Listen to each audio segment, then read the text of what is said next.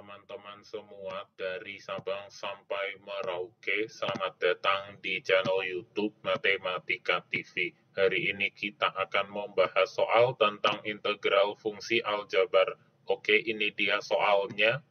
Integral 3x plus 1 kali x min 1 dx sama dengan titik-titik-titik.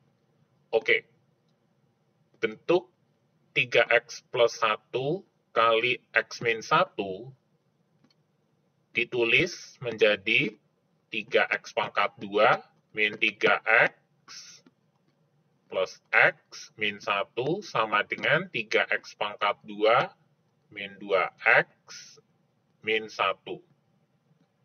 Sehingga bentuk integral fungsi aljabar dari soal di atas diurai menjadi integral 3x pangkat 2 dx min integral 2x dx min integral 1 dx.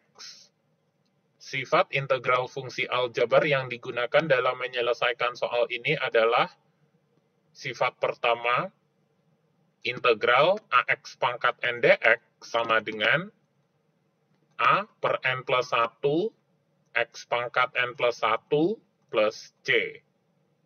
Plus c adalah konstanta integral.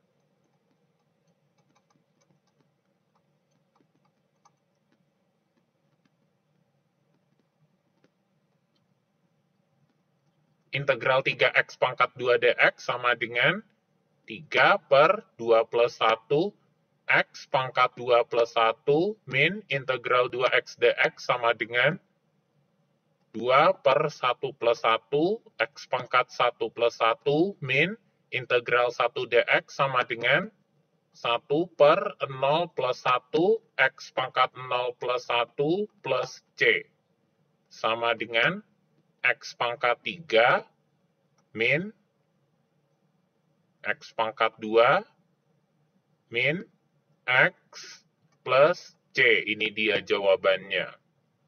Jawabannya adalah yang B. X pangkat 3 min X pangkat 2 min X plus C. Oke, sekian pembahasan soal tentang integral fungsi aljabar untuk hari ini. Oke, Terima kasih sudah menonton video kita di Matematika TV. Kalau ada pertanyaan, follow akun media sosial Matematika TV berikut. Sukses selalu ya!